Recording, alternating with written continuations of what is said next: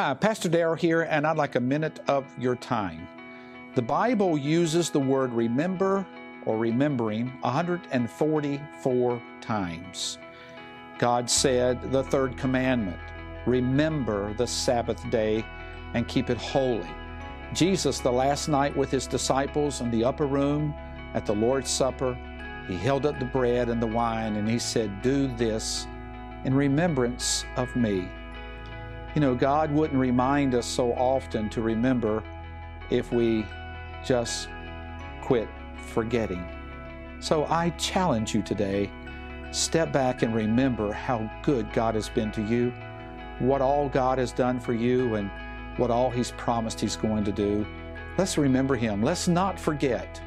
God is a good God, and God is faithful to all of us. Let's remember that.